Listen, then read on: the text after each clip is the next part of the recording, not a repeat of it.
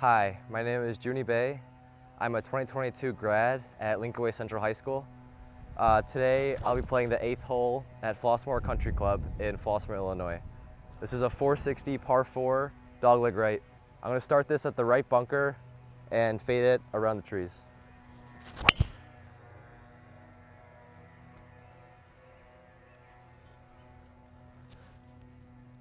Started straight on my line.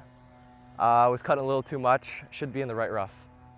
It's 170 yards to the pin, 150 yards to carry the water. I'm gonna hit a knockdown eight and set it a little left of the pin because of the wind.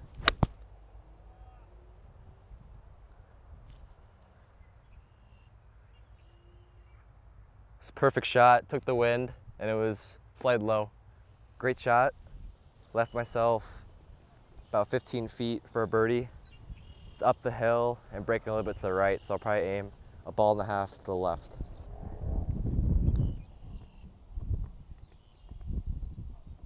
Pulled it a little bit, but good speed.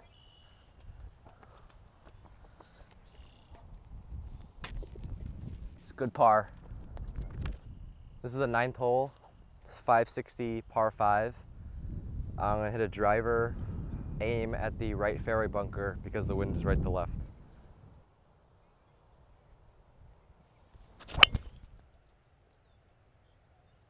Pushed it a little bit.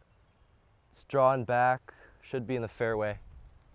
To the hole, it's 250, but I'm gonna hit this 160 to lay up to my favorite wedge yardage, which is 90, and also the green goes severely front to back, and it'd just be risky to go for it in two. Pulled it a little bit, should be left side of the fairway if it gets a good kick. It's an 85 yard wedge shot, uh, 75 to the front of the green. Normally I'd bump it up there at the 54 degree, but I'm gonna fly it there because the pin is in the front.